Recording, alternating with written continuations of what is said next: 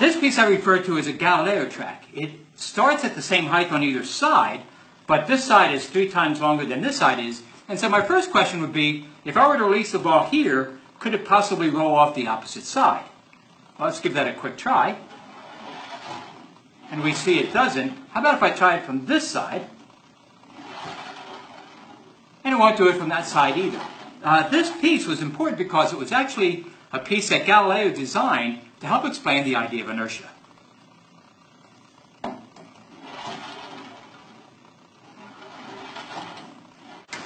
When looking at probabilities, here are two examples of prediction tracks. For example, will I get a million views for this video? Here are my choices. I'd say yes, it's possible, chances are slim, and no way. Well, I was hoping for better, but it looks like my chances are very slim.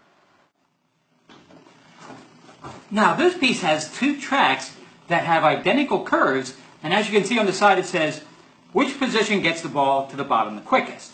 So for this piece, uh, if we lift the balls to the same position and release them, we would expect them to get down to the bottom together.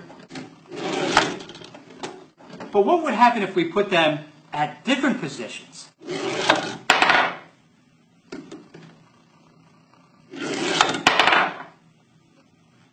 We find that position doesn't make a difference. If we release them at the same time, they will reach the bottom together. Now, I built this piece to help explain the behavior of pendulums in regards to a revelation that was made by Galileo.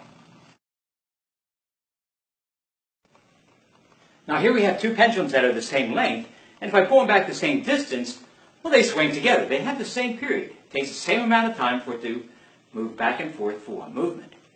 But Galileo showed that if I pulled them back different distances, they still have the same period, with the same amount of time for it to swing back and forth for one movement. Now, if I pull the apples back and release them at different times, we can hear them hit at different times. And if I pull them back together to the same distance and release them together, they hit together. Now let's try pulling them back different distances, but releasing them at the same time. Once again, we hear that they're hitting together. The same is what we find on these tracks.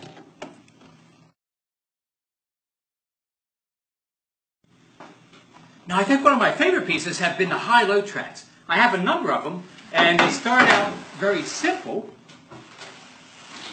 something like this. And as you can see, there's two tracks, both tracks start at the same height and end at the same height, but their path from one side to the other is completely different.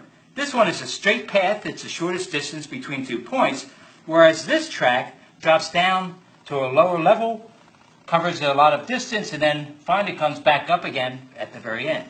So the question is, which track would get a ball over to the opposite side the quickest? Well, I have two steel balls here. Let's give it a try.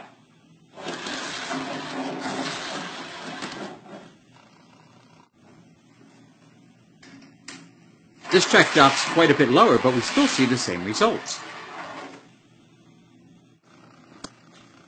Same idea, only this time I've added a hump in the center here. Let's see what happens with this one.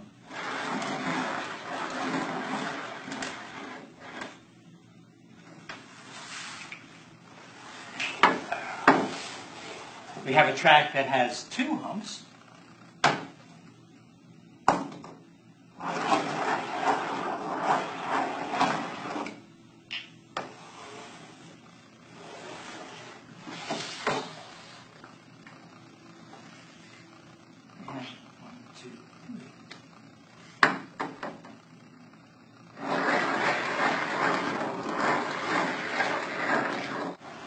This check I used to help explain the behavior of pendulums. Uh, the tracks are the same length, but as you can see, the slope is much different from one to the next. The first track represents a pendulum that is 24 centimeters long, and it would have a period of one second.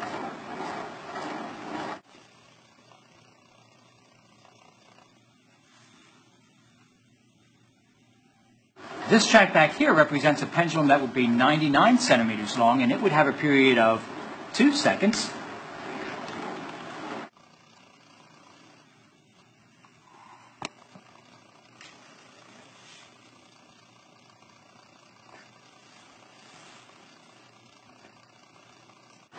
And the third track back here, which is much gentler, uh, represents a pendulum that is 222 centimeters long, and it would have a period of 3 seconds.